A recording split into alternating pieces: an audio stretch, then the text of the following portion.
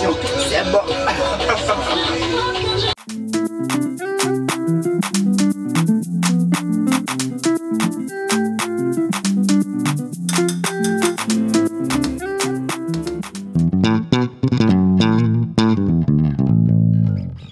Famille, j'espère que vous allez bien. On se retrouve aujourd'hui pour une vidéo plutôt spéciale. En fait, ça faisait un bon moment que j'avais envie de me raser la tête complètement parce que j'avais les cheveux super super abîmés. Le tiers de mes cheveux c'était des fourches. Mes baby's hair c'était du n'importe quoi. Il y avait une partie de ma tête où il y avait un peu plus de baby's hair que l'autre. C'était du, vraiment du grand n'importe quoi. J'ai commencé les teintures à 12 ans, ce qui a complètement niqué mes cheveux. J'ai commencé par des mèches blondes, après j'ai eu les cheveux complètement blonds. Euh, j'ai eu les cheveux orange, j'ai eu les cheveux rouge bordeaux, après j'ai voulu repasser au noir. J'ai eu les cheveux à peu près de toutes les couleurs et c'était tout le temps des teintures de très mauvaise qualité. Je savais pas m'en occuper, je me lavais les cheveux genre tous les jours. Mes cheveux ont connu l'hydratation quand j'avais genre 17 ans. J'ai aussi essayé de me défriser les cheveux deux fois, ça n'a jamais tenu, mais évidemment ça les a bien niqués. À un moment je voulais avoir une frange, mais évidemment avec les cheveux bouclés ça passe pas. Du coup fallait que je les lisse tous les matins, du n'importe quoi. Je les ai brûlés, je les ai défoncés. Et en fait, je suis passée au naturel. Et ce que j'appelle le naturel, c'est pas ne plus se défriser, vu que ben, enfin, j'ai essayé de me défriser deux fois, ça n'a jamais tenu. En gros, n'utiliser que des produits naturels, que des huiles, euh, des œufs, de l'avocat. Et donc je suis passée au naturel tout simplement parce que mes cheveux sont tombés. En fait, à un moment, je les ai décapés. Si vous savez pas ce que c'est, imaginez que mes cheveux soient un t-shirt noir et que j'essaie de les faire passer au jaune qui tire sur le blanc, un jaune super clair qui tire sur le blanc, en faisant tremper ce t-shirt dans de l'eau de javel. En gros, c'est ce que j'ai fait à mes cheveux.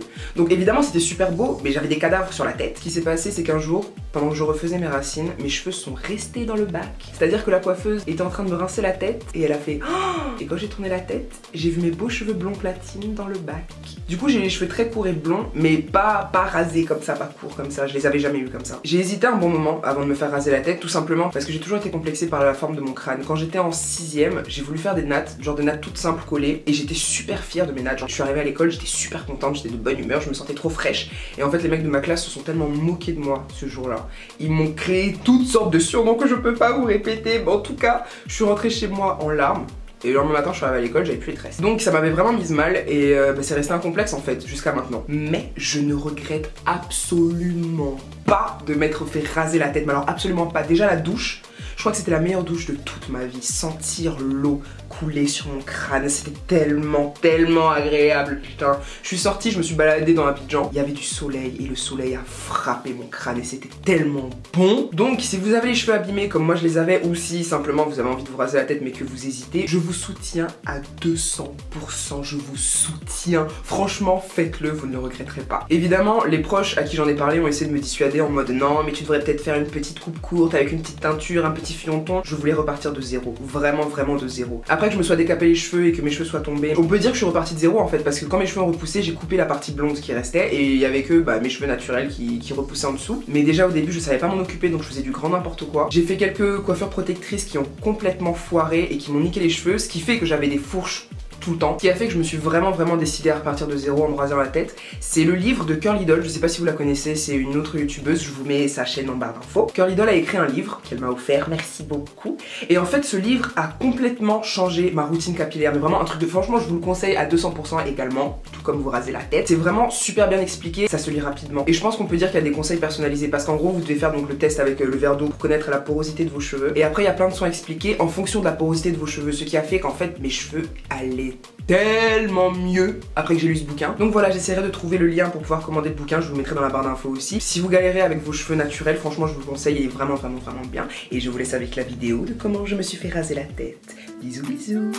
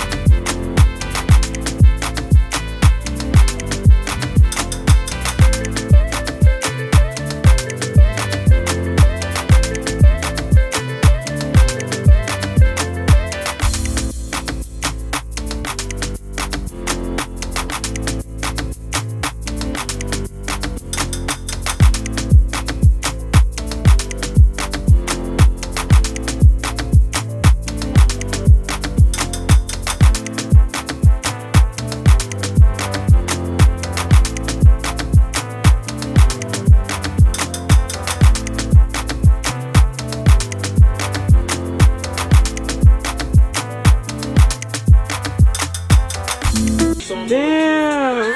Whoa!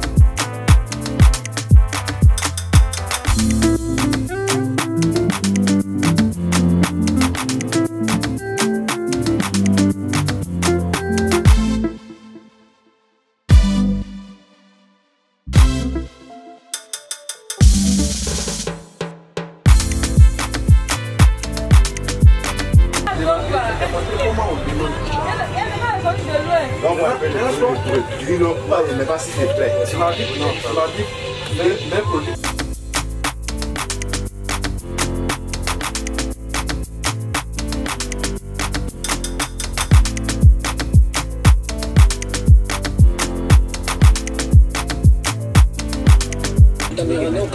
Mimi, c'est bon.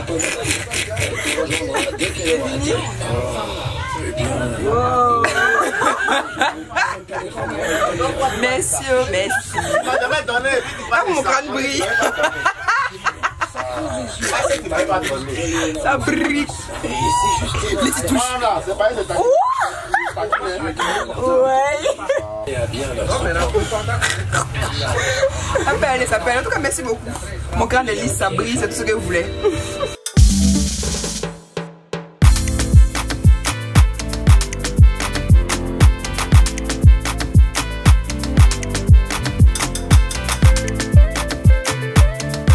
Pense vous faire un petit récapitulatif tous les mois de bah, des soins que j'ai fait, des résultats, etc., etc. Je vous mettrai des petites photos avant, après. Et voilà Merci d'avoir regardé la vidéo, je vous fais des gros bisous la famille, on se retrouve bientôt pour une nouvelle vidéo.